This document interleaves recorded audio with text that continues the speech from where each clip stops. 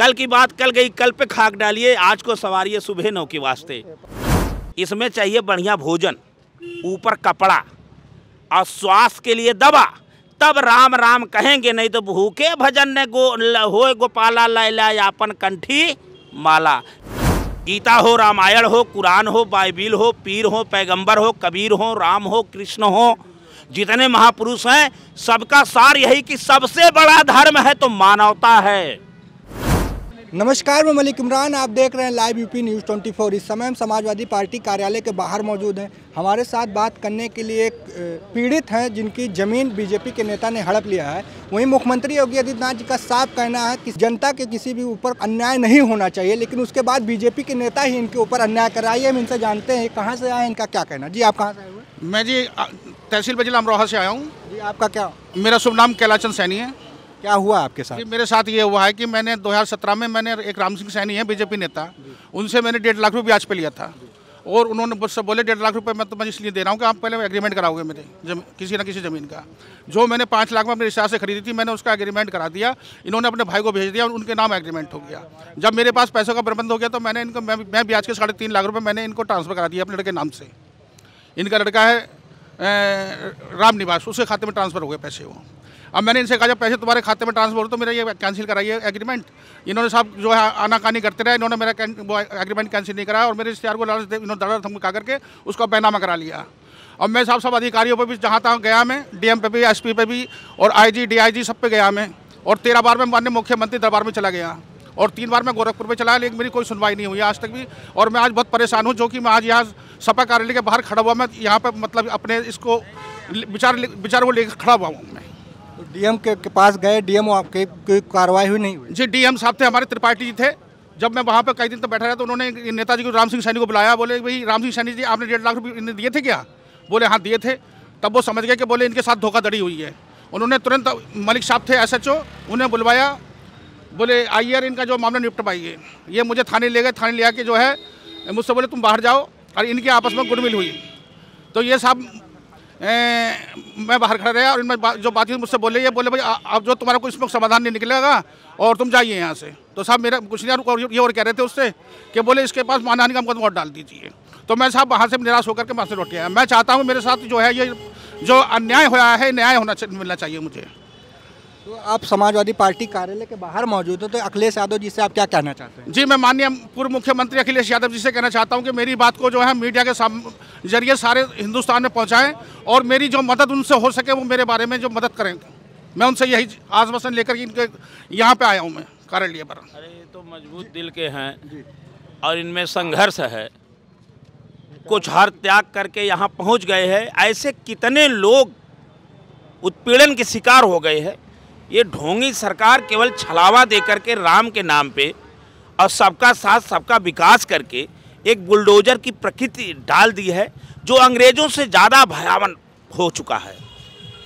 इनका, इनसे आप पूछिए, आज बुलडोजर का नाम लेंगे कि माफियों के बुलडोजर, ये माफिया हैं? ये देखिए, ये माफिया को संरक्षित दे रहेंगे जब तुम्हारी पार्टी में ये मुँह माफिया है तो इस पर कार्रवाई क्यों नहीं करते? और इसने मेरे उस प्लॉट में दो मंजिला मकान बना दिया इसने। मैं मैं उस पर वो भी लेकर आया था स्टे भी। लेकिन स्टे के बावजूद भी पुलिस ने कोई कार्रवाई नहीं करी। वो भी इसी को गोद में खिलाते रहे। सब आप लिखित में दिए? जी मैंने लिखा तो मेरे पास भी है। कागजात के साथ? हाँ जी। उसके बाद सुनवाई नहीं नहीं कोई सुनवाई नहीं हो रही। जी तो मैं तो इसीलिए दुखी होकर के आया हूँ केस भूमाफी के जब तक खिलाफ कोई कार्रवाई नहीं होगी और इसके मकान पे बुलडोजर नहीं चलेगा तब तक मैं ये संघर्ष करता रहूँगा। मुख्यमंत्री मुख्यमंत्री जी कहते हैं कि एक तरफ़ की भूमाफिया तो उत्तर प्रदेश छोड़ देंगे या तो भूमाफिया गिरी छोड़ देंगे। उत्तर प्रदेश नहीं छोड़ेंगे। भू माफियाओं को तो सरकार संरक्षण दे रही है। गरीबों के ऊपर चला करके उसको एक वायरस बना के केवल 24 में जैसे सामने इलेक्शन है उसको वोट लेने के लिए प्रक्रिया है कि और कोई सवाल कर ना पाए। महँगाई कितनी है, बेरोजगारी कितनी है, अत्याचार कितना फैल रहा है, नौजवानों को नौकरी मिली कि नहीं मिली, गैस सिलेंडर का दाम कितना है, सरसों तेल कितना है, टमाटर कितना, लहसुन कितना है चीन में चीन सीमा से घुस रहा है, उस पर कोई सवाल ना कर पाए। इसीलिए ये तो बुलडोजर बाबा, बुलडोजर बुलडोजर से न्याय मिलेगा तो बुलडोजर ही चला दो। माफिया माफिया उनके बगल में बैठे हैं। माफिया के लोग के यहाँ कोई जा नहीं सकता।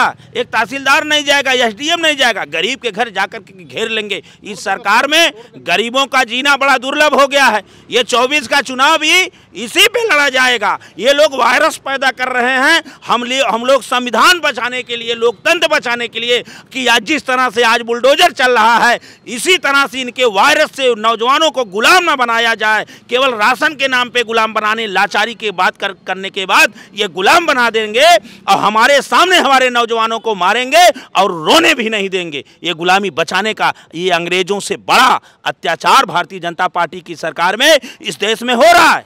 उदाहरण देख लीजिए, राष्ट्रीय महिला पार्लियामान खींची जा रही है। एक कहने के बाद एफआईआर हो जा रहा है दूसरे गरीब के ऊपर, और वो उनके हैं।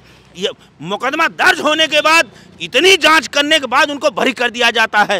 मणिपुर जल रहा है, अगर कोई बोल दिया तो उसके ऊपर बुलडोजर चल जा रहा है, या एफ़ हो जा रहा है। ये इनको सत्ता चाहिए, जिस तरह से सत्ता इनको मिलनी है, वो इनको चाहिए हर हाल में, चाहे राम के नाम पे ठगना हो, गंगा के नाम पे ठगना हो, ब्राह्मण के नाम पे ठगना हो, हिंदू मुसलमान की बात करना हो अगड़े पिछड़े की बात करना हो, संसद की मर्यादा यही तार तार करते हैं, दूसरे के ऊपर केवल आरोप लगाते हैं। ये देश गंगा जमुनी तहजीबी देश है। राम के नाम पे कहाँ ठगी बीजेपी ने? अच्छा कहाँ नहीं ठगी?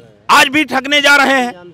ये बता दीजिए हम हम भी मंदिर में जाते हैं हम मंदिर के हम भी पूजा करते हैं हम राम को मानते हैं। ये बताइए जो राम लला का जन्मभूमि है संत से महंत से बड़ा कोई है उनके हाथ से क्यों नहीं उद्घाटन हो, हो जाता? नहीं होगा। इसलिए मार्केटिंग नहीं होगी। आज होटल खाली करवा दिया गया। राम राम और कृष्ण को बदनाम करेंगे। जय श्री राम करके कैमरा के सामने गोली मार दिया गया। क्या हुआ? पता चला कहीं? हाई कोर्ट में मारो जय श्री राम बोलो। किसी के मोहल्ला जला दो जय श्री राम बोल दो जाँच नहीं होगी। राम नाम पे बोले हम राम राज लाएँगे। यही राम राज है गरीबों पे बुलडोजर चला दिया जाए। यही राम राज है कि केवल चंद पूंजीपतियों को अ, अ, उस- सुरक्षा दिया जाए। गरीबों जनमानस का कोई अगर यादव भी पीड़ित है चला जाए कि अरे ये तो यादव है इसको नहीं कि ये राम राज है तो ये ये ये राम राज का दुरुपयोग हुआ कि नहीं हुआ? हम राम नाम राम नाम जय श्री राम पंद्रह लाख देंगे। जय श्री राम सबका साथ सबका विकास। जय श्री राम सब सस्ता होगा। जय श्री राम राष्ट्र सुरक्षा होगा। हुआ कुछ नहीं तो राम नाम पे ठगा नहीं हुआ तो हुआ क्या? अरे ये देश संविधान से चलेगा। बाबा भीमराव अंबेडकर साहब ने जो लिखा है हमारा संविधान से तो चल ही रहा देश कहाँ चल रहा है? संविधान बदला जा रहा है। यही संविधान है। ये संविधान कहाँ संविधान है? आप पर्चा संविधान है आप पर्चा दाखिला कर नहीं सकते। आप सही बोल नहीं सकते। लोकतंत्र में अपनी आवाज़ नहीं उठा सकते। आप अगर चले जाएँगे थाना से लेकर तहसील से लेकर के जातियाँ पूछी जा रही है। रिपोर्ट नहीं दर्ज वोट नहीं डाल सकते। ये आने वाले में वोट खत्म कर देंगे। ये- ये संविधान कहाँ है? हमको तो संविधान राइट दिया है। संविधान तो ये भी राइट दिया है कि विपक्ष अपनी आवाज़ उठाए। आप देख लीजिए पूरे देश के पार्लियामेंट के बीच में केवल ये क्वेश्चन विपक्ष ने कर दिया कि ये दो लड़के कौन थे, क्यों आए थे? आप इस पे माननीय गृह मंत्री जी अपना वक्तव्य दे दें। इतना ही कहना उनको निलंबित कर देना है। ये संविधान है। ये लोकतंत्र है। ये विपक्ष का अधिकार नहीं है। ये किसी का सवाल हो सकता है, क्योंकि ये बोलेंगे कि वो वो बेरोजगार थे। अब इस पे बोलेंगे, उन्होंने कहा था दो करोड़ नौकरी देंगे, सामने चौबीस का चुनाव है। तो हम चुनाव ना डिस्टर्ब होने दें मणिपुर जल जाए, लाशें बिछ जाएँ, विपक्ष की हत्या हो जाए, ये तो तानाशाही है। ये राम की आप जो बात कही तो रावण का रूप है। तो रावण भी ते रूप ऊपर से धारा धारण किया, भगवा। और हरब्यों हरब्यों करते करते पहुँच गया सीता माता के पास, और हरण कर लिया। जब हरण किया तो कहा, मैं रावण हूँ, तुम चलो मेरे साथ। तो जब ये सरकार बन जाती है तो कहते हैं तुम कौन हो, यादव? अब बहुत गुंडई किए थे समाज में। तुम मुस्लिम हो, तुम पिछड़े हो। इनके साथ इनके पीछे आरएसएस है। वो संविधान बदल के मनु मनुस्मृति लागू करना चाहती है। और जिस दिन आ जाएगी जिन लोगों को वायरस बनाया है उनको ठीक कर देगी। बीजेपी आरएसएस के दिमाग से। दो सौ साल ये भारत गुलाम रहा। उसके बाद हमको बोलने की आज़ादी मिली है। और ये आज़ादी फिर हमारे सामने बोल ये जो बोल रहे हैं इसकी बोल को बंद करने का ये काम किया है भारतीय जनता पार्टी ने। तो जो आपने रावण शब्द का यूज़ किया और आरएसएस का किया है तो क्या बीजेपी आरएसएस और रावण के माइंड से चले मतलब आपका क्या कहना अच्छा ये बताइए रावण रावण का कृत्य क्या था? हम राम की बात करें और काम करें रावण की। राम राज में दूध मिलाई कृष्ण कृष्ण राज में घी और बाबा राज में दारू मिलेगी झूम झूम के पीऊ। यही ये, ये है रामायण में यही लिखा है। रावण जहाँ जाता था पूरा खाली हो जाता था। वो आसुरी प्रवृत्ति का काम राम तो मर्यादित थे, समाजवादी थे। वो सबको सेवरी को गले लगाए, केवट को गले लगाए, सबका उद्धार करते हुए गए। राम राम राम तो एक धोबी के कहने से माता सीता को वनवास में कर दिए। आप राम के पद चिन्हों पे हैं, देश की जनता बहुत कह रही कि ईवीएम से मत चुनाव करो। आप ये, आप अमेरिका की, अमेरिका अमेरिका की तुलना कर रहे हैं तो अमेरिका कह रहे हैं, अमेरिका हम बनाएँगे, या अमेरिका से तुलना कर रहे हैं अमेरिका में बैलेट पेपर से हो रहा है जनता मांग कर रही है आप एक के कहने से कर दीजिए बैलेट पेपर पे चुनाव नहीं करवाएँगे। तो चुनाव हार जीत के बाद आप लोग ईवीएम पे चले आते नहीं नहीं आप मैं ये कर रहा हूँ वो जो भी जैसे करवावें उनके अधिकार है ढोल उनके पास है बजाएगा कौन? हम तो कहेंगे तान सही नहीं बज रही है। अब वो तो पीट रहे हैं वो पीटेंगे। लेकिन मेरे कहने का मतलब धर्म धर्म से राम से कृष्ण से कोरोना काल आया था कहने पे भी बोल देंगे, क्या कोरोना काल आया था? मंदिर में क्यों ताला लग गया? मस्जिद में क्यों लग गया? राम सबसे बड़े इस हृदय में रहते हैं। ये तैंतीस करोड़ देवता इसमें वास करते हैं। और इसमें क्या है? एक टंकी है, जो कभी भरती नहीं, पेट। इसमें चाहिए बढ़िया भोजन, ऊपर कपड़ा और श्वास के लिए दवा। तब राम राम कहेंगे, नहीं तो भूखे भजन ने गो होए गोपाला लैला यापन कंठी माला। जब गरीब जनमानस तड़प के तड़पेगा, किसी मुसलमान के भी घर जाके भूखा जाकर खा लेगा तो आपका हिंदू तो आपका राम राज कहाँ जाएगा? ये ढोंग बंद करो देश को संविधान से चलाओ। देश 200 साल बाद बोलने की आज़ादी मिली थी। हमारे पुरखों पर, पुरान, पुरानियों ने अपने प्राणों की आहुति दे करके ये तो अंग्रेज़ों से ज़्यादा अत्याचार कर रहे हैं। इनके कितना बोला जाए, आप बताइए ये ठगने का काम कहाँ ना, कहीं ना, कहाँ नहीं किए। गंगा माँ हम, गंगा माँ हमको बुलाई, हम साफ़ करेंगे। उसी गंगा में कोरोना की लाश पाना शुरू कर दी, जिसको यह सरकार कफन नहीं दे पाई, पैरासीटामॉल नहीं दे पाई। ये बंगाल के चुनाव में मस्त थे। और ये सबसे बड़ा भ्रष्टाचारी नीतियाँ इनके पास क्या है? सबसे बड़ा भ्रष्टाचार। कोरोना काल में वैक्सीन तो सबको लगा है। ये वैक्स अरे भैया वैक्सीन कब लगी? कोरोना में लगी कोरोना में लगी कि सब कुछ लाश ओस बह गई चली गई कौआ कुत्ता नोच के खा सरकार को इससे पहले थोड़ी ना पता था कि पता कोरोना था कि कोरोना आ रहा है तो पश्चिम बंगाल में वो दीदी वो दीदी हो रहा था। बंद कर दिए।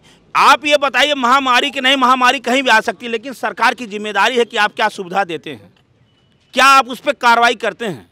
क्या कदम आपका उठा? आपने जो कहा, अगर दो सौ, दो करोड़ नौकरी प्रतिवर्ष कहा कम से कम एक करोड़ तो दो यार, पचास लाख दो। सबका साथ, सबका विकास। आपने नोटबंदी किया विश्व का सबसे बड़ा भ्रष्टाचार भारतीय जनता पार्टी ने किया। नोटबंदी से क्या मिला? एक वक्तव्य आप दे दो। आप में आ रामराज रामराज की मर्यादा की आप कर रहे हैं तो आप आपने जितना काम किया था जितना वादा किया था उस पर आकर चुनाव आप लड़ लो। साठ हज़ार भर्तियाँ निकलने वाली है पुलिस में। वो निकलेगी और निकलने वाली है ना सैतालीस में क्या होने वाला है? आज का पता ही नहीं है कल की बात हो रही है। अरे आज को संवारिए सुबह नौ के वास्ते कल को छोड़िए कल की बात कल गई, कल पे खाक डालिए, आज को सवारिए सुबह नौ के वास्ते। आज की बात करिए, ये तो साठ हज़ार निकलने वाली, अब चुनाव आ गया तो निकलना। तो मेरे कहने का मतलब आम जनता, ये तो ऐसे बुलडोजर के पीड़ित हैं कि जो अपने ऊपर लिखा करके घूम रहे हैं, कितने हैं कि इनकी आँखों में आँसू चल गया, कितने के ऊपर बुलडोजर चढ़ गया, मर गए। आप आप देखे होंगे, मर गए, कोई वहाँ गया नहीं।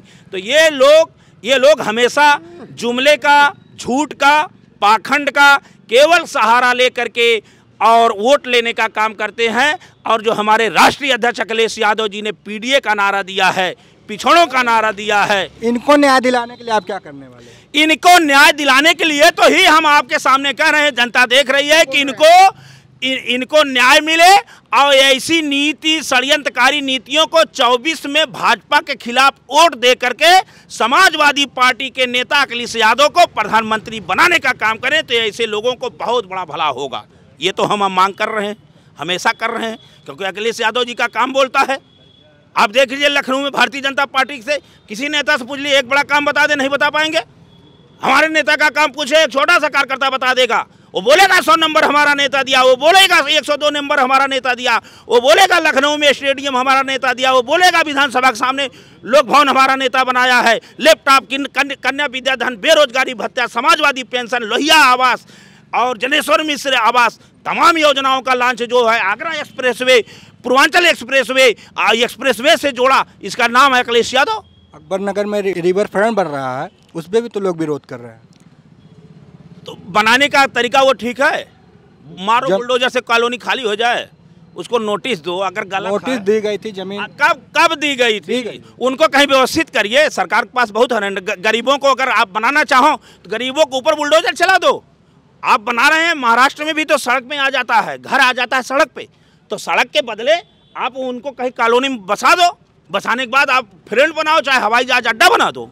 सरकार के पास क्या कमी है? जब आप राम राज में हैं तो राम राज का यही मामला है कि मारो बुलडोजर चला दो। अरे, पहले उनको बसाओ, बुलडोजर चलाओ, चाहे वहाँ जो तालाब बना दो। उसका हम थोड़ी विरोध कर रहे हैं। आप विकास करो ने, काम करो लेकिन सिस्टम से करो। तो यहाँ सिस्टम नहीं है। आ गया मन में जब चढ़ गया था चल दो, ठोक दो, बोल दो, रोक दो।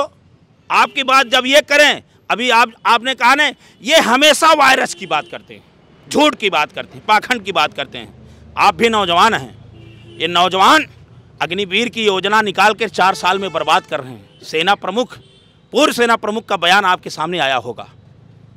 ये देश के सुरक्षा का सवाल है। देश की एकता का सवाल है।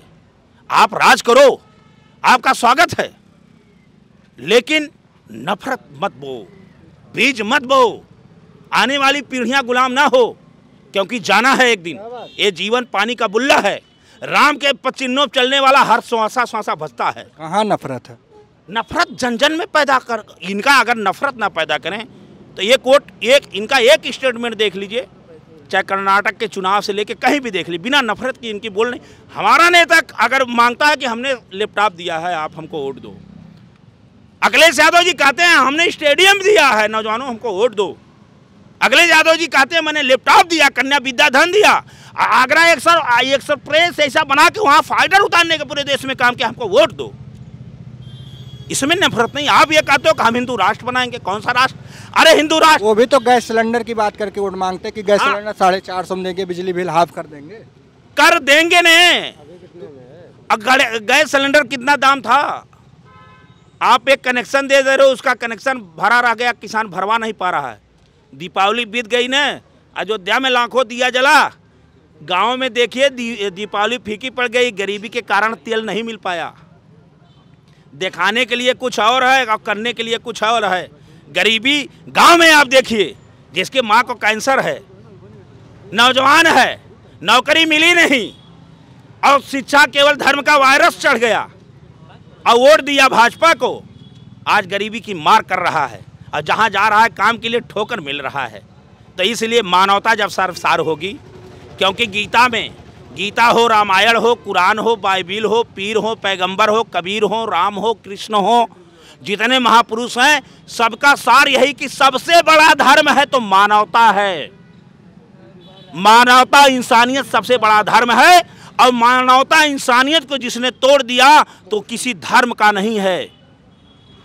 ये धर्म के आड़ में खेल ज़्यादा तक, ज़्यादा दिन तक नहीं चलने वाला है। मैं आपके माध्यम से ये कहना चाहता हूँ नौजवानों, कमर कस लो संविधान बचाने के लिए, लोकतंत्र बचाने के लिए, आने वाले 24 में एक एक वोट डाल करके उत्तर प्रदेश से जो भारतीय जनता पार्टी का रास्ता है उसको ब्लॉक कर दो। आपका नेता दिल्ली में झंडा फहराएगा और पूरी तरह से समाजवाद आएगा। जब समाजवाद आ जाएगा तो राम राज अपने आप आ जाएगा। आप कितने दिनों से पीड़ित घूम रहे हैं? जी मुझे तीन साल हो गए सर जी। तीन साल से आपको भी न्याय नहीं मिला नहीं मिल रहा जी बिल्कुल भी नहीं मिल रहा है क्योंकि भूमाफिया तो उन्हीं का संरक्षण का है। वो तो वो तो बीजेपी नेता है बीजेपी नेता के साथ कार्रवाई हो ही नहीं सकती कभी भी। तो मैं तो यही चाह रहा हूँ इस भूमाफिया के साथ जो जैसे औरों के साथ हुआ है वैसा इस भूमा के भूमाफिया के साथ भी खिला इसकी कार्रवाई होनी चाहिए। जैसा कि अतीक अहमद के साथ हुआ है और उनके और, भी थे उनके साथ हुआ वैसा इस भूमाफिया के साथ भी ऐसी इसके खिलाफ कार्रवाई होनी चाहिए। मैं चाहता हूँ। जैसा कि सुना आपने हमारे साथ ये बात करने के लिए मौजूद थे इनका साफ़ कहना है कि जो इनकी ज़मीनें हड़प ली गई है इनको न्याय मिले ये समाजवादी पार्टी कार्यालय के बाहर खड़े हुए हैं और न्याय की गुहार लगा रहे हैं। वीडियो जर्नलिस्ट अंकित यादव के साथ में मलिक इमरान। देखते रहे लाइव बीपी न्यूज़ ट्वेंटी